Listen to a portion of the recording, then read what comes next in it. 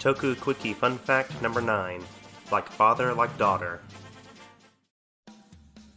One of the main characters of Ultraman Tiga is Officer Reina Yanase, played by Takami Yoshimoto.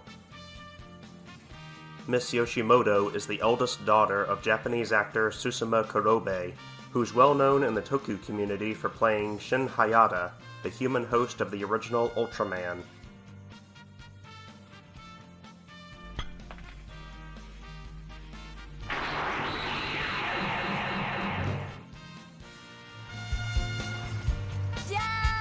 Au!